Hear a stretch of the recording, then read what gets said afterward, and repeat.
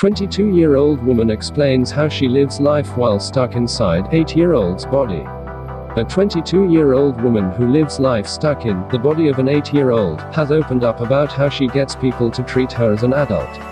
Shauna Rae, from Long Island, stands at just 3 feet 10 inches tall and only weighs about 50 pounds due to a form of medical dwarfism. It was a traumatic start to life for Shauna, who had an aggressive cancerous tumor at the age of just 6 months old.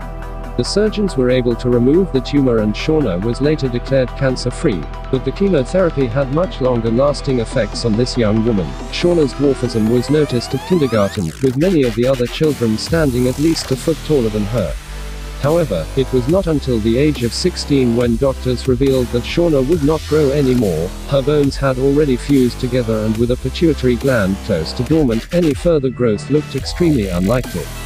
Despite being given growth hormones, Shauna has remained small in stature and leads a very different life to a typical 22-year-old woman.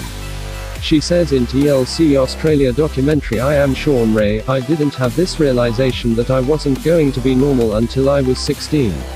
In that moment, the world shattered.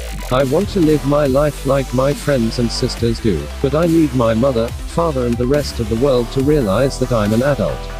Shauna understandably struggles with other people's childlike perceptions of her, and we see these difficulties firsthand when she sits at bar in the documentary, after attracting some embarrassing stares and being told that children are not allowed at the bar. Shauna presents her ID to reveal her actual age.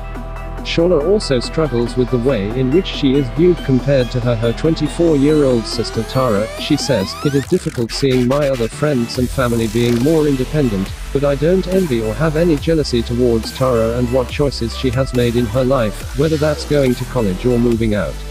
But I think it's entirely unfair that my parents treat us differently as we're only two years apart. We also see the 22-year-old head off to a local brewery with her two friends, and hopes that acting like an adult will improve her own confidence. She even revealed she took up vaping as a way to look older. She says, I've always been attracted to that edgy lifestyle with the tattoos, the piercings, vaping or doing anything adult-esque. It wasn't to show anyone else that I'm an adult, but to prove to myself that I'm an adult. She has also tried online dating and is looking for ways to meet new people, but stressed she doesn't need a boyfriend to become more independent. Thanks for watching, see you in our next video. Don't forget to leave a comment so we know what you think about the video.